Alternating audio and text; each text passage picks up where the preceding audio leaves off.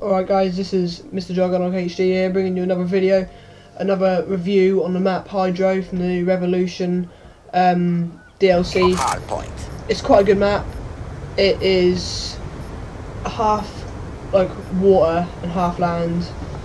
It's like under, underneath the like um, water station. There's a, a flow of water underneath where I'm standing now um, there's a water flow under there that, like, uh, when it when the sirens go off, the um,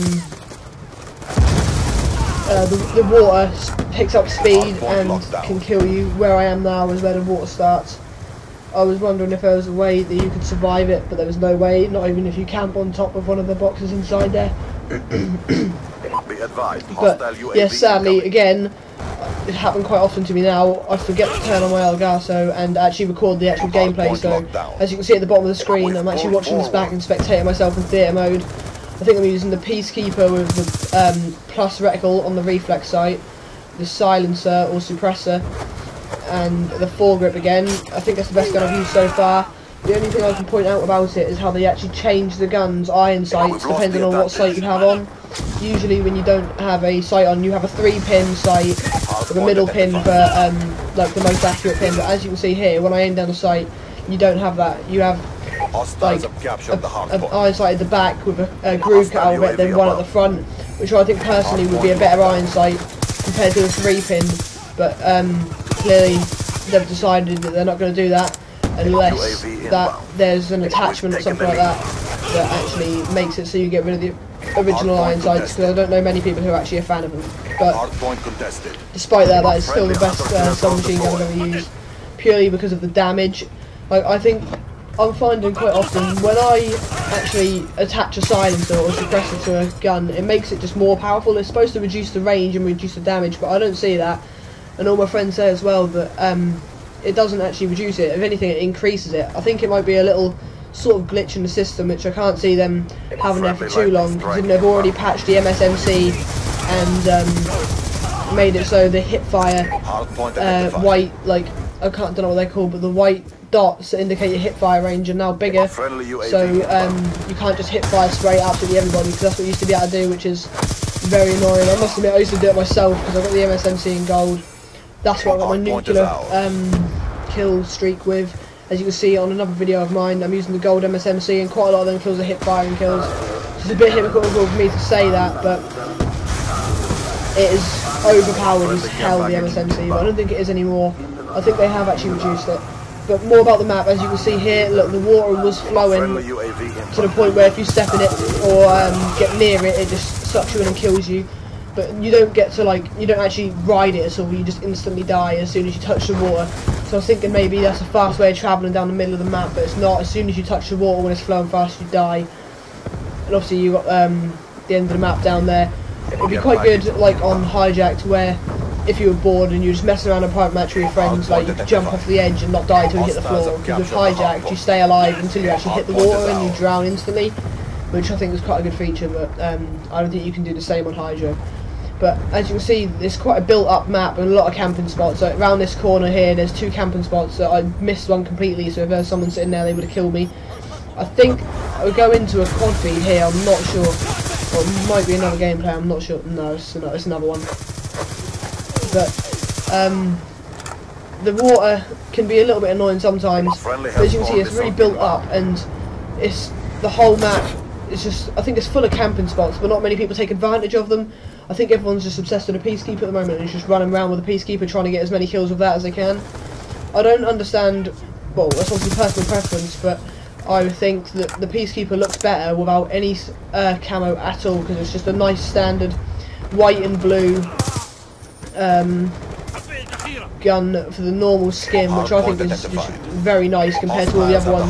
Like the guns are at the moment, I'm being a bit of a noob when I'm not playing Revelation or no Revolution map pack, and I'm using the FAL Select Fire, which I do get a lot of abusive messages for that, but oh well.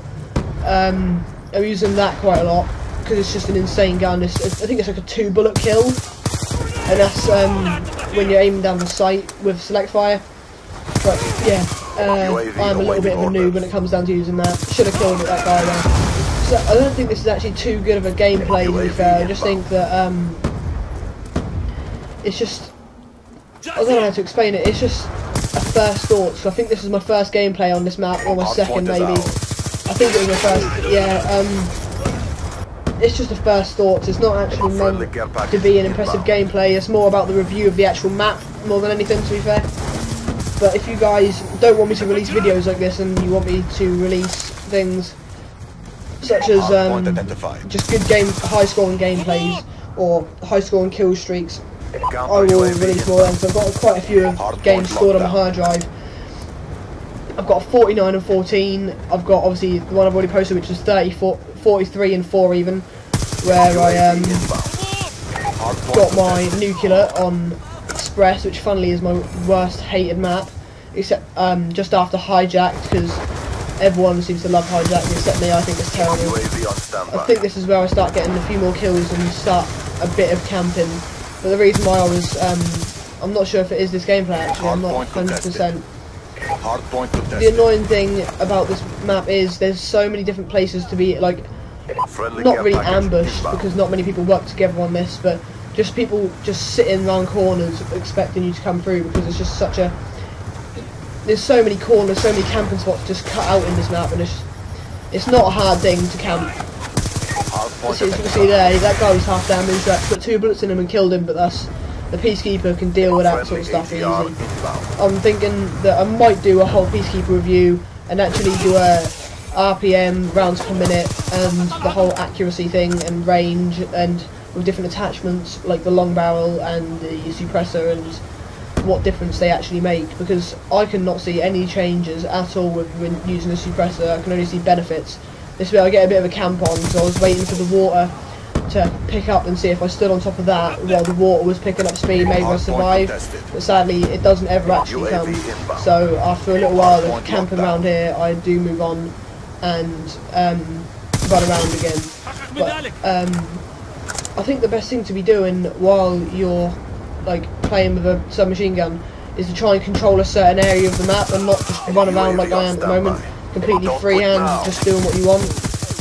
Um, this is where I get killed because I camp down the corner trying to get him, but he spots me. Sadly, kills me.